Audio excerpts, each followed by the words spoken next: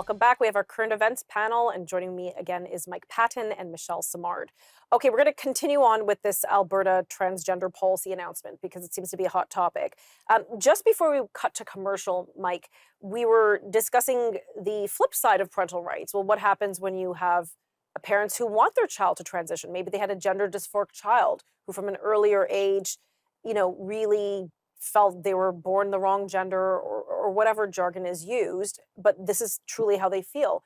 Do they have a right then to advocate for this child to obtain this medical procedure?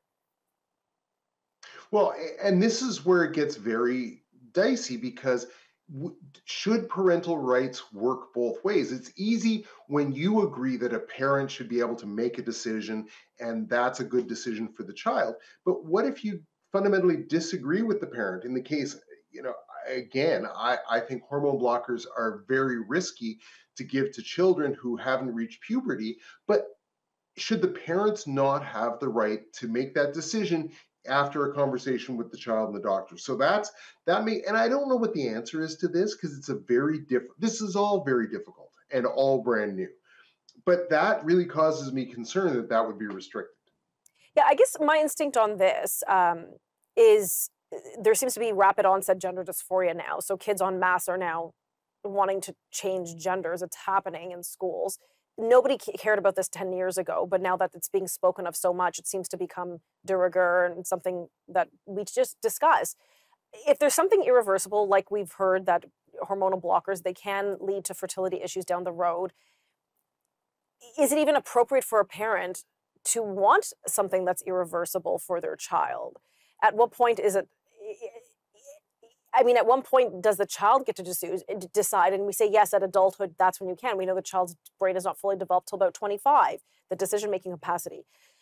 I think this is, is, is a real, like, if we're being true to the parental rights cause, I think it's, it's, it's a very strange topic. And we could, discuss this for even other medical treatments. Uh, it doesn't have to be just gender uh, transgender issues. Now, one of my the favorite policies that did come out of here, and Michelle will let you discuss this, is that again we touched upon is that transgender women, so these are biological born men who are now identifying as a female, are no longer going to be allowed to compete in not just girls but women's sports in Alberta.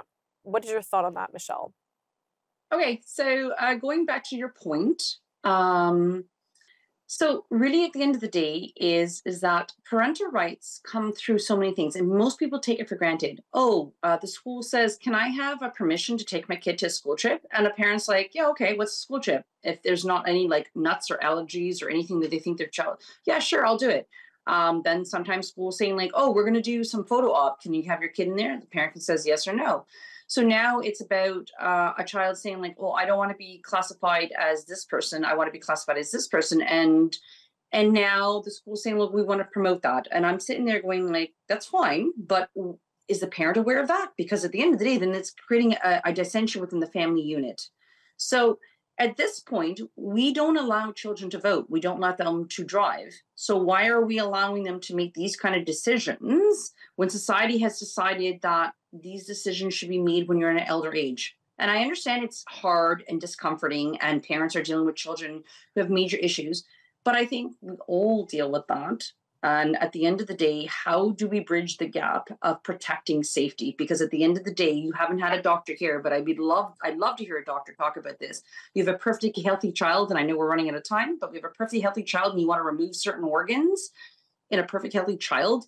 Um, that right. maybe they change their mind and there's a whole whole other group that says they regret decisions that they made and that's never really talked about in media mm, fair enough fair enough let's switch gears um, a french man so a man from france uh, he's uh, is, identifies as islamic he interrupted a catholic mass in quebec to say his prayers in the church while at the front while mass was going on uh, Michael, what, who, what, what's going on here? I mean, I ask this truly uh, because if there's a service in play, I thought it was always the law, and maybe Michelle, you want to chime in, that you can't interrupt a service while it's going on. In this case, a Catholic mass.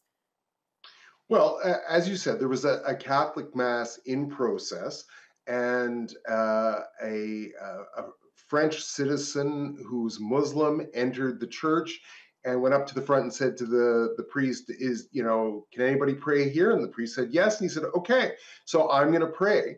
I'm going to do my muslim prayers right here in the front in the middle of your catholic mass. And filmed the whole thing because he was looking for a reaction he's a youtuber and this was a, a thing and I don't know that Tanya that there's laws about this, but this is just incredibly rude, if nothing Okay, else. Pause it there. We're going to talk about this in just a moment.